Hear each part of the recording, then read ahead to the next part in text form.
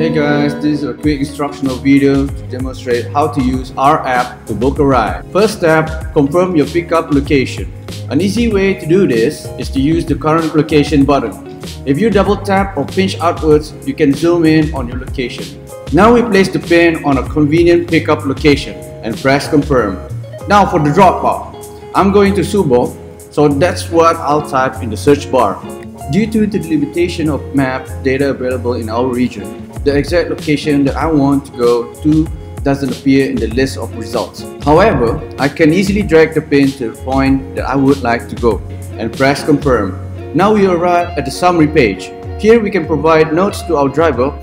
I'm going to write a note to my driver. I write here, I'm at Startup Lab at Progresif HQ. Please call me when you arrive. That's it. Submit your booking and Dart will find you a driver. Boom.